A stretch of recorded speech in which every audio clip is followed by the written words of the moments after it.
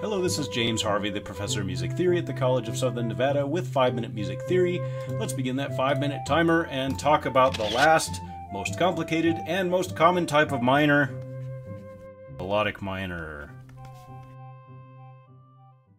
So we're going to write a melodic minor scale up here at the top, but first I'm going to add another clef on this bottom staff, and we're going to review natural minor, then harmonic minor, and then we'll get into the melodic minor. So I'm going to write an A minor scale, A natural minor, and I'm going to write it going up and down, the ascending and descending versions of this scale. A minor has no sharps and no flats, and I'm sorry that last A is right right underneath my logo, uh, but uh, you'll know that there's an A there. So it's A, B, C, D, E, F, G, A, and then all the way back down creates an A natural minor scale to turn this into harmonic minor, remember we add a leading tone, so we raise that seventh scale degree, and it turns into a G sharp, and then we have an, a harmonic minor scale.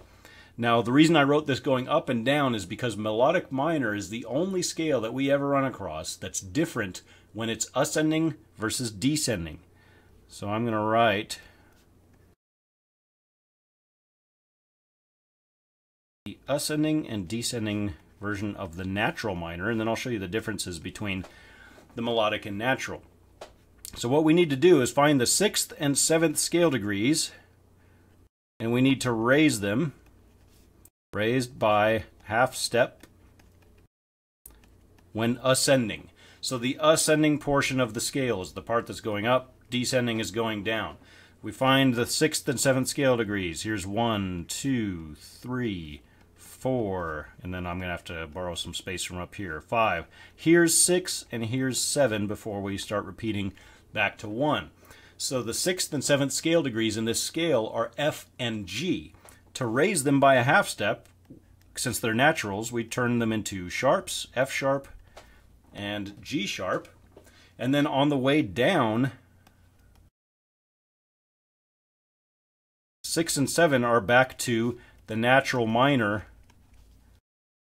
on the way back down. So whatever they are in natural minor is the descending portion.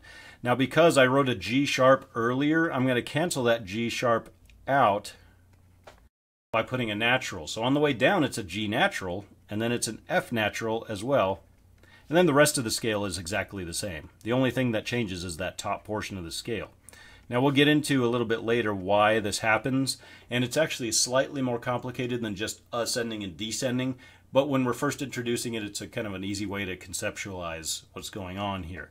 So we have that 671 raised on the way up, and then it's back to natural minor on the way down.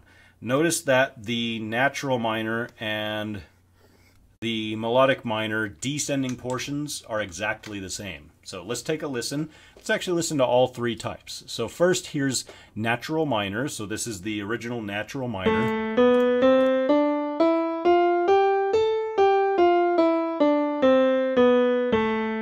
And then we're going to add that leading tone to turn it into harmonic minor.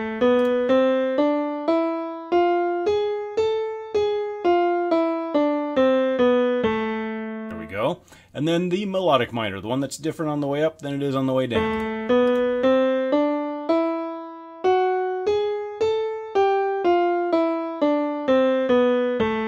So you can hear on the way up, here's the raised notes, then back down to the natural minor like that. There's our home base. So melodic minor, just to summarize very quickly, is different on the way up than it is on the way down. So when going up, you take the sixth and seventh scale degrees, you bump them up by a half step. Again, that doesn't always mean sharp. It just means that we're raising them by a half step, whichever accidental is appropriate to do that. And then on the way back down, you return them to their natural uh, positions to create a natural minor scale on the way down. This is the only scale that we're going to run across that's different on the way up than it is on the way down. And like I said at the very beginning of the video, this is also the most common type of minor. So it's really important that we understand how it works and we're able to recognize it and construct it. That's it. Melodic minor. Thank you.